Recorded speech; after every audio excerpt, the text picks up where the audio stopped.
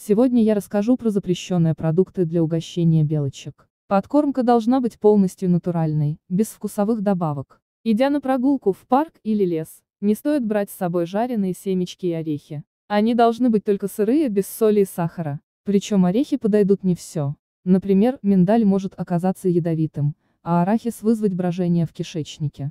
Мелок ни в коем случае нельзя кормить любыми человеческими лакомствами, конфетами, шоколадом, попкорном, чипсами, булочками. От такой пищи животное может погибнуть. Сухой корм для собак и кошек приведет к расстройству желудка. При кормлении белок нужно отдавать предпочтение сырым семечкам. Из орехов можно кедровый и фундук, но немного, по несколько штук.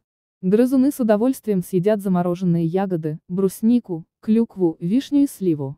Обязательно вынимайте косточки для белок, они ядовиты. Подойдут яблоки и груши в свежем или сушеном виде.